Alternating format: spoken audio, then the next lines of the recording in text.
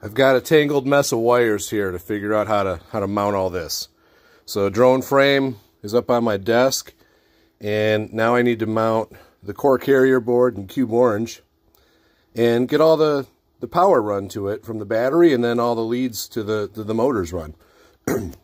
so what I'm thinking here is I'm going to use these ABS, these plastic ABS sheets, this thing here, and I'm going to put it on a standoff inside this frame. And I'm using these little standoffs I bought uh, for Raspberry Pis, essentially.